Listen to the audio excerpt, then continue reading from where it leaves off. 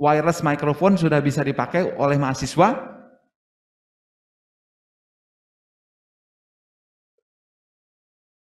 Oke, mahasiswa udah bisa juga ya? Baik, kalau begitu kita akan mulai saja kuliahnya.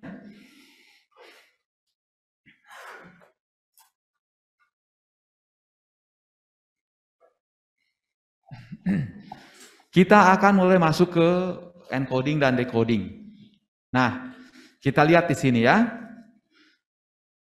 Sinyal itu ada analog, ada digital.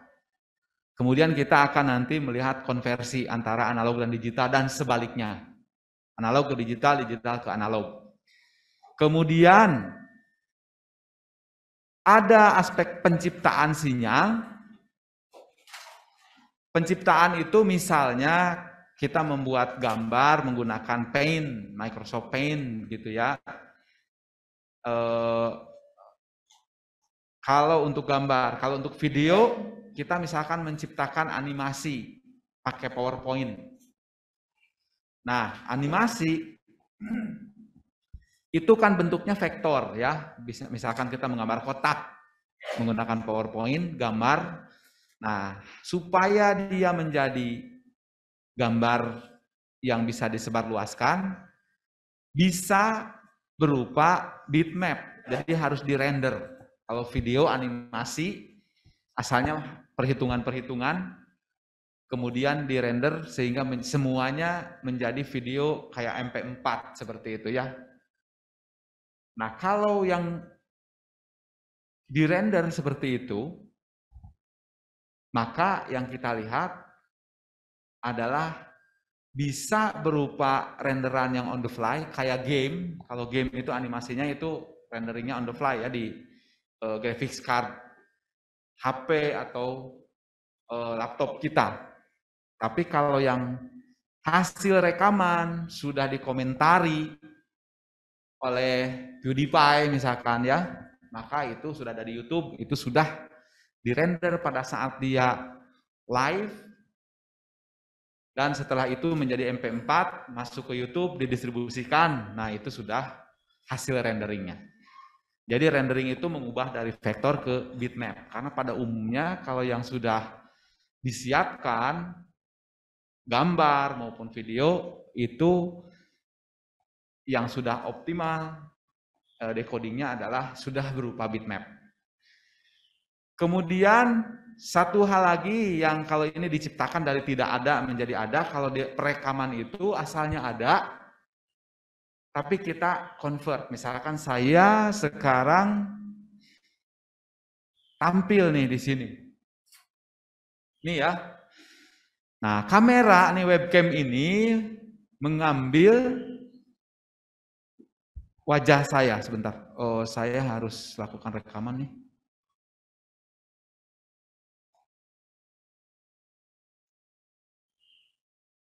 Loh, rekamannya di mana nih? Oke, nggak apa-apa dah. Eh, nanti habis lagi waktunya ngatur-ngatur itu ya.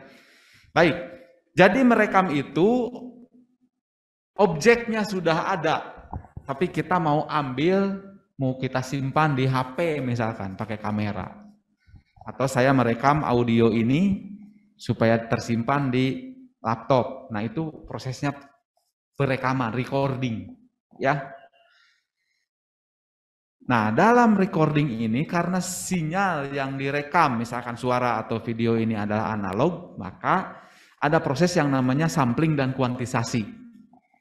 Nah, nanti kita lihat ya sampling dan kuantisasi itu merupakan hal yang harus kita kerjakan di minggu ini.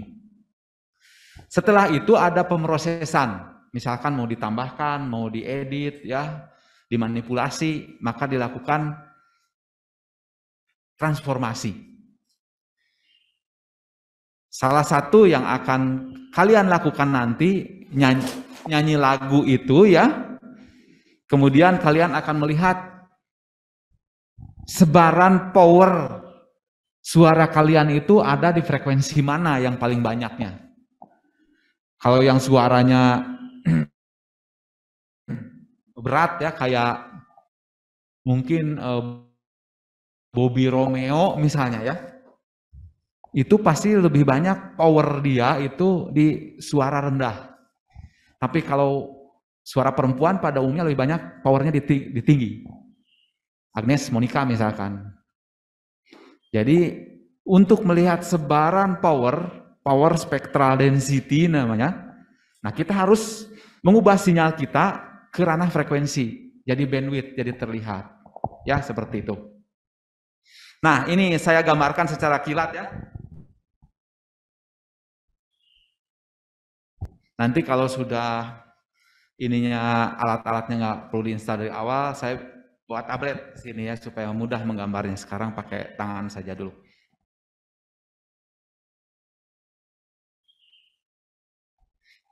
Nah, mungkin kalau kalau Baby Romeo, eh kalau Agnes Monica kayak gini, ini frekuensi ya.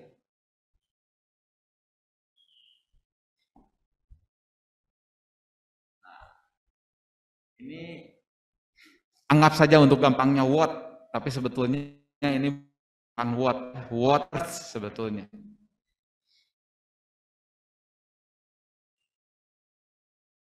Nah, kayak gitulah. Nah, tapi kalau Baby Romeo,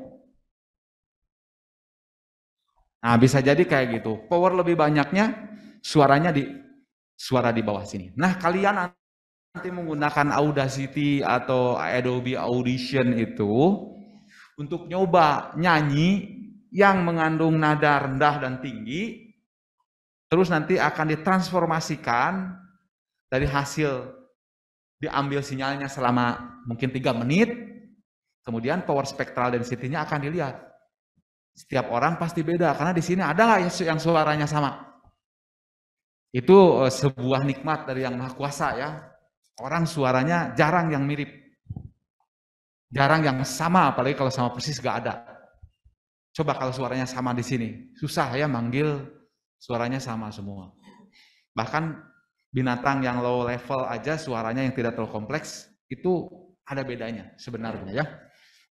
Oke, kemudian format dan standar. Citra Misalkan ada JPEG, ada PNG gitu ya, ada PING gitu, atau teks ini ada TXT, ada .html, video, video itu ada ya, yang sekarang banyak adalah MP4. Kemudian audio, yang banyak sekarang ACC atau yang sebelumnya MP3. Itu yang akan kita uh, bahas ya. Nah, kita akan Penciptaan langkah awal pada sistem multimedia adalah untuk menciptakan, menangkap, atau mengubah sinyal ke dalam bentuk digital, biasanya bentuk analog. Nih, kayak gini. Ini sinyal awal, sinusoid. Sinusoid ini hanya dua detik saja misalkan, ya anggap ini detik di bawah. Nah kalau sinyal analog, maka fungsinya kontinu. Di setiap waktu ini ada selalu penuh. Nah, tapi kalau sinyal digital, kumpulan nilai diskrit yang terdefinisi yang hanya ada pada waktu tertentu saja nih, jadi nggak penuh. Nih, di sini ada, tapi di antara sini nggak ada. Kita gedein.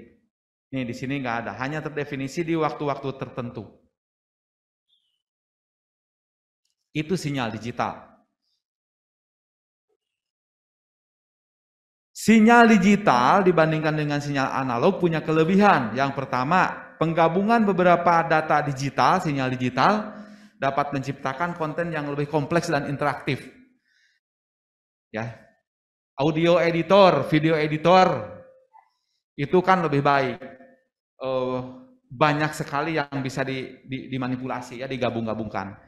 Dan kita lihat ya penyanyi hebat juga ketika dia nyanyi live dengan nyanyi hasil studio pasti beda. Karena di studio yang kurang-kurangnya bisa di, dirapihkan. Foto juga Anda, kalau fotonya candid, apa adanya, ya apa adanya gitu. Tapi coba kalau Anda make up dulu. Setelah make up pakai uh, di, di, di lighting dan lain-lain yang bagus, sudut pandangnya yang bagus. Setelah itu di Photoshop ditambah lagi Sampai-sampai nenek 80 tahun kayak gadis 18 tahun. Ya, karena bisa dimanipulasi dari sisi analognya pada saat make up artis dan pada saat sudah di Photoshopnya misalkan ya. Semua wrinkle, jerawat, segala macam hilang. Nah itu sampai-sampai jadi orang lain. Gitu. Kemudian sinyal digital lebih anti rusak akibat waktu dan jarak. Kalau sinyal analog ada noise di mana-mana susah ya, tapi kalau sinyal digital nanti banyak tekniknya untuk membuang. Kalau di Adobe Audition misalkan kalian punya rekaman suara dan di belakangnya ada suara oh, katakanlah orang lagi ngelas misalkan ya. Atau suara gemuricik uh, air gitu angin itu dengan mudah dibuang ya data digital dapat dikompresi dan didistribusikan secara efisien. Sekali difoto jadi JPEG disebarkan di WA group udah langsung nyebar ke mana-mana. Langsung viral. Kalau sinyal analog nggak mungkin kayak gitu. Sangat sulit ya. Data digital mudah disimpan di dalam media penyimpanan magnetik maupun elektronik. Dan yang sekarang lebih banyak penyimpanannya adalah elektronik. Kalau hard disk itu SSD, ya kan? Kalau yang magnetik itu kan berat, eh, harganya memang murah, tapi kecepatannya juga lambat. Nah sekarang lebih mengarah kepada elektronik SSD itu ya. Nah lihat nih, sekarang kita akan mulai harus fokus nih. Ya, kita punya sinyal ini analog. Kita akan mengkonversinya ke digital. Sinyal ini mendingan Anda menggambar ya, ikut menggambar ya, mau di uh, iPad-nya atau di uh, kertas biasa silakan. Lihat, gambarkan sinyal di atasnya amplitude dalam volt, di X-nya waktu dalam detik. Nah, kemudian ranah sampling itu adalah ranah waktu nih. Di, jadi pada waktu tertentu dia dicuplik, diambil. Hanya pada waktu tertentu saja yang TS namanya nih sampling time atau sampling period atau sampling interval. TS sama dengan 1 per Fs. Ini nih ya. Waktu samplingnya sama. Periodik dia. Nah, jadi ini frekuensi sampling. Kalau yang namanya kuantisasi itu bekerja di ranah amplitude sini. Jadi ada pencuplikan, sampling, ada kuantisasi, ranahnya masing-masing. Oke, jelas ya ini ya. Di sini banyak yang jelas, tapi di setiap tahun ketika ujian atau saya kuis disuruh menerangkan gitu masih ada saja sepertiganya yang ternyata nggak jelas gitu bagi dia karena salah. Jadi mohon di tahun ini jangan sampai terjadi seperti itu ya. Lihat konsep sampling pakai matematika supaya bahasa engineering lebih akurat. Sampling adalah pencuplikan nilai angka suatu sinyal yang dilakukan secara periodik. Lihat, saya punya sinyal namanya XS. Pada saat N, N adalah pencacah pencuplikan. Biasanya N dari 0, 1, 2, 3 sampai jumlah sampling. Durasi tertentu ya. Lihat, sinyal yang disampling XS adalah sinyal yang analog tapi hanya pada saat N T-nya periode sampling. Supaya gampang T-nya satu aja satu detik dulu. Jadi sampling saya adalah satu cuplikan setiap detik. Jadi sinyal sampling yang ke 0 adalah X pada saat 0. Jadi sinyal pada saat 0 saya ambil. Kemudian pada saat detik pertama, detik ke satu, maka XS1 adalah X yang analog itu tapi nilainya diambil pada saat dia satu kali satu detik pada saat detik ke satu. Jadi X5 adalah sinyal analog yang diambil pada saat detik kelima. Gitu ya. Nih. Ini ngambil-ngambilnya jadi kayak gini. Nah, kalau Nah, sekarang saya akan tanya yang ini. Anggap di bawah ini adalah dua detik. Saya mau tanya, ah sekarang kita lakukan presensi dulu deh. Eh, mohon asisten bisa ngeset dulu presensi untuk membaca modul 2. Jadi presensinya di EduNext dan ke seseorang di kelas ini atau di kelas atas. Monitor kelas atas. Oke, nanti kabari kalau sudah ya. Kalau sudah disiapkan presensinya kita akan lakukan di kelas 01 dan kelas 02 adalah hasil dari aktivitas membaca modul, mendownload PDF-nya. Oke ya, nanti kabari saya. Oke, untuk sementara saya mau bertanya kepada uh, yang di sini saja. Tes 1, 2, 3. Nah, ini pakai ya. Saya ingin, saya favorit saya kalau sedang mengajar adalah yang di pojok, yang di belakang. Jadi itu hot seat sebetulnya. Sambil uji coba seberapa jauh ini ya uh, mikrofon ini. Bisa minta tolong mas sekalian kepada apa namanya yang paling siap, yang paling pojok sana. Uh, uh, dikasihin. Saya mau nanya.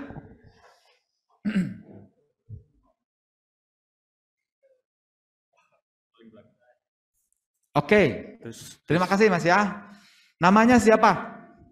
Muhammad Ramadhani. Dipanggil? Dani saja, Pak. Dani saja. Oke.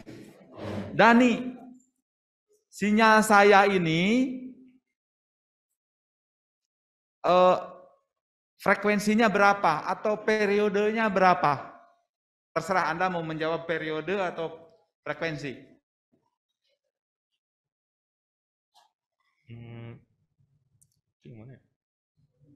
Sama yang ini ya. Tapi kita tampilkan yang sudah digital. Sinyal saya ini, sinyal kita ini periodenya berapa?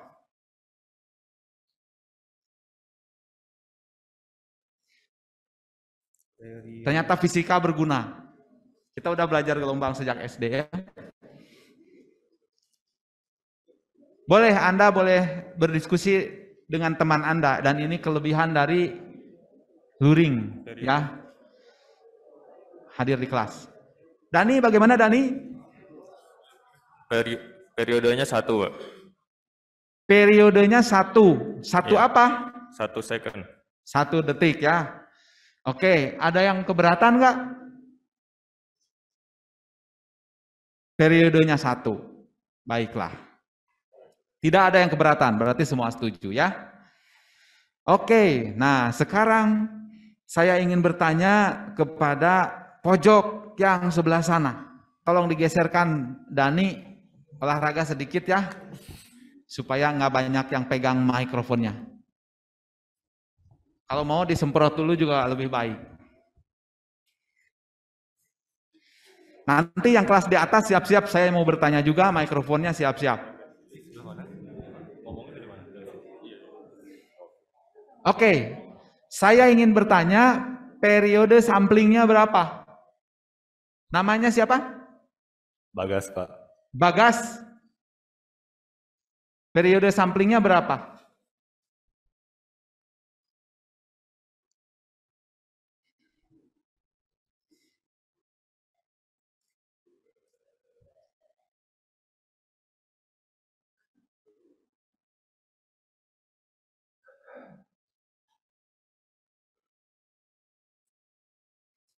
Atau frekuensi samplingnya berapa? Bagas boleh bertanya ke teman di sekitarnya ya. Diskusi.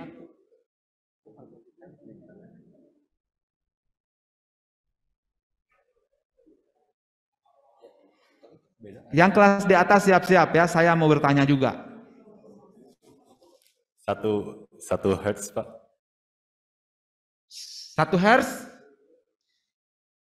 itu satu hertz itu frekuensi sinyalnya. Saya sekarang nanya frekuensi samplingnya. Seberapa sering dia diambil, dicuplik dalam satu detik?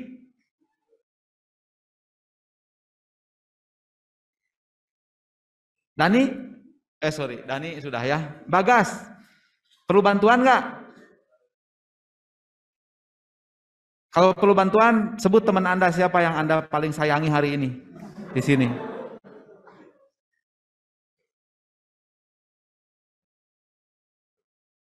Atau saya mau nanya yang di atas. Bagas ada yang kenal nggak di atas? Ada pak. Tanya, sebut namanya. Pak Vita. Siapa namanya? Pak Vita pak. Pak Vita. Oke, yang di kelas atas, yang dipanggil sama Bagas, silahkan jawab. Frekuensi. Langsung jawab saja. Fak, eh, apa frekuensi samplingnya ini berapa ini? 21 atau 20?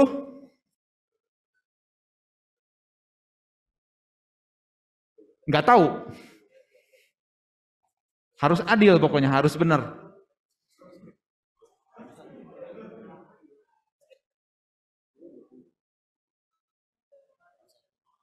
Berapa?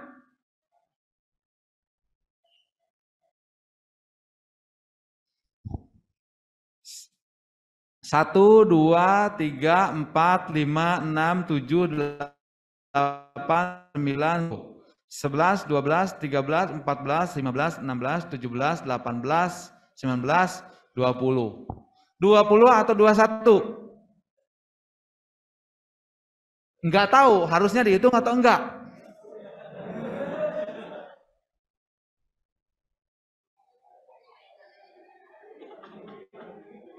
Enggak, enggak dihitung ya. Kalau dihitung nanti bagaimana ngitung yang ini?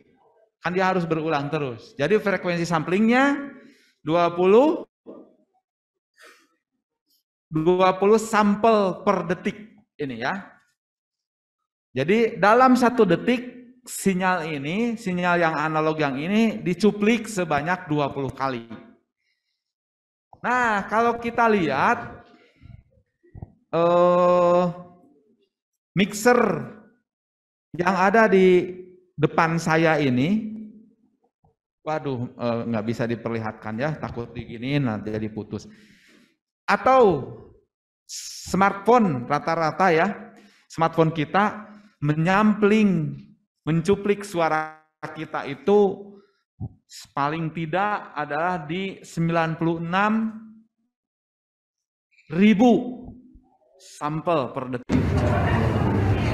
Kalau kita ini hanya 20 sampel per detik. Kalau ini minimalnya itu 96 ribu. Ingin kualitasnya sebaik mungkin. Oke ya. Baik, udah terjawab dari kelas atas. Terima kasih. Kita punya frekuensi sampling 20 sampel per second, 20 SPS atau kadang-kadang suka disebut juga 20 Hz karena Hz itu kan kejadian per detik gitu ya. Nah, ini. Mari kita lihat sekarang. Secara matematika, secara matematis, proses sampling itu adalah proses konvolusi. F bintang G. Nah, di SMA kalian itu pernah pasti pernah ya yang namanya komposisi fungsi. Ya, ini berguna sekarang. Ada F noktah G, ada F vektor G, ada F bintang G, ada F asterisk G. Jadi kita mengkomposisikan dua sinyal F dengan G. Nih, F-nya yang ini, kemudian G-nya itu, sinyalnya itu adalah yang selalu muncul sesaat. Ngambil kayak gitu aja. Ya, cuplik, cuplik, cuplik di dalam hal ini di setiap satu per 20 itu.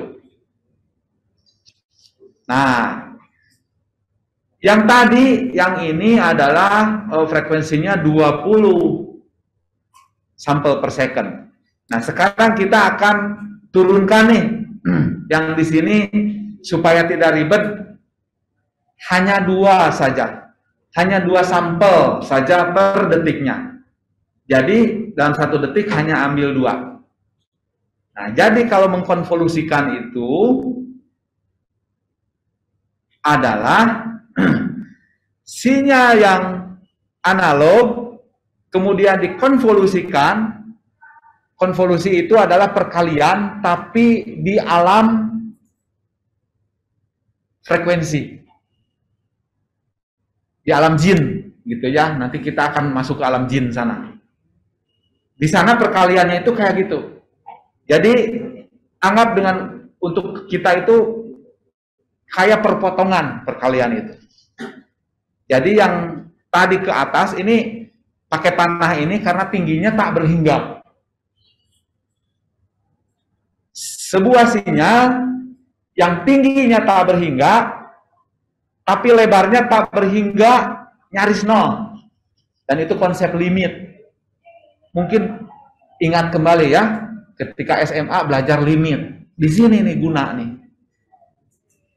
Jadi ini namanya fungsi delta. Sifat fungsi delta itu tingginya tak berhingga, lebarnya nyaris dekat ke nol, limit mendekati nol, tapi luasnya satu, satu unit. Jadi aneh, tipis banget, tinggi banget, tapi luasnya satu. Itu ya definisi matematikanya. Nah, setelah dioperasikan, F dikonvolusikan dengan G, untuk praktisnya adalah diambil perpotongannya, maka akhirnya kita mendapatkan ya sinyal seperti ini. Sebetulnya nggak ada garis-garisnya sinyal ini ya, hanya titik-titik saja kan gitu. Ini garis-garis supaya lebih mudah terlihat aja. Nggak ada garis-garisnya ini sebenarnya ya. Nah, jadi untuk gampangnya sinyal analog kemudian disampling, diolah secara digital. Pada saat suara ini mau dikeluarkan kembali di speaker analog, speaker selama ini analog. Dia kenapa analog? Karena telinga kita analog Ya, nah nanti diinterpolasi oleh speaker sehingga kita bisa mendengar suaranya. Begitu secara ringkasnya analog, digital, kemudian dari dari analog diinterpolasi, sorry, uh, dari digital diinterpolasi sehingga hasilnya jadi analog lagi, mendekati. Sebetulnya kita dibohongin dengan digital ini karena beda dengan dengan dengan aslinya oleh para insinyur ini dimanipulasi. Insinyur itu sebetulnya tukang tipu. Tapi orang bahagia ditipunya karena ada kaidah-kaidah yang menguntungkan. Merugikannya tidak sangat minimalis ya. Bagaimana dilakukannya di dalam perangkat elektronik? Ini kan semua elektronik. Nah, kurang lebih kayak gini nih. Ini sinyal di sini ya. Ingat lagi pelajaran SD, SMP, SMA, kita punya tegangan. Di sini ada transistor yang dia punya clock hanya di sampel itu pada saat clocknya berubah sehingga kita punya hasil samplingnya di sini. Ini untuk gampangnya. Kalau yang nyatanya kayak gini lebih rumit. Ini untuk calon bawahan kalian nanti anak-anak elektronika. Anak-anak elektro ya. Tapi kalian sudah tahu prinsipnya. Jadi ini sinyal input, nanti sinyal outputnya adalah sudah hasil sampling. Jadi yang di dalam ada di dalam ADC analog to digital converter isinya kurang lebih kayak gini.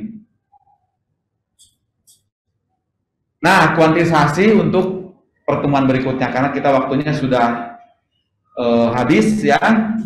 Saya sih senang melanjutkan, tetapi kalian kan harus berpindah mungkin ya. Ada yang ditanyakan dulu nggak di kelas ini atau di kelas atas mengenai sampling konsepnya? Dari kelas atas ada yang ditanyakan?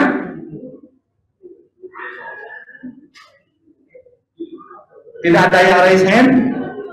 Tunjuk tangan nggak ada? Tidak ada. Yang di sini nggak ada? Ada? Boleh, itu ambil lagi. Tolong kembalikan bagas.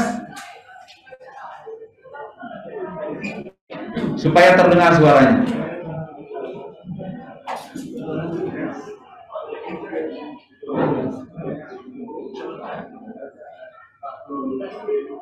Silakan yang bertanya. Nyalain aja dulu, tekan beberapa detik.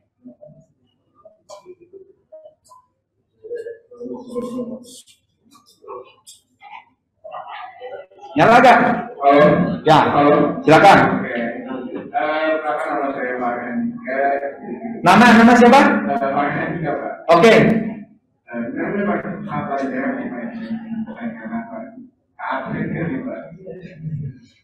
Saya tidak terlalu mendengar dengan jelas. Eh, mohon di, diulang lagi agak pelan, dekat ke mic.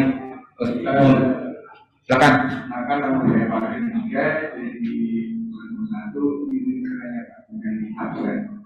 Oh, absennya belum ya? Iya Pak. Oke, halo dari kelas 1 eh, Mohon presensinya kita lakukan dulu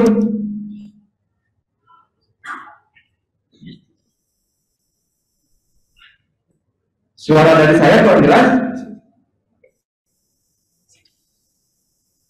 Waduh, padahal nggak udah pakai kabel. Kita mohon dicek lakukan absensi dulu.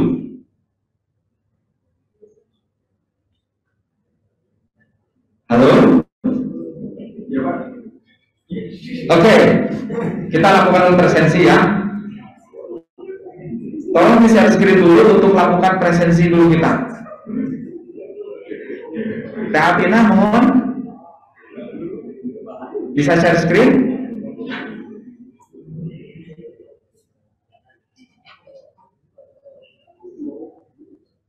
Halo, halo. So, coba saya akan cek di sini ya. Baik, nanti kita akan lakukan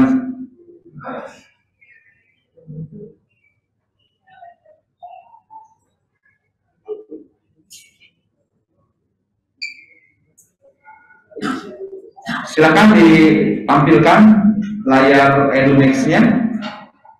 Ini yang yang kita lakukan dulu presensi ya.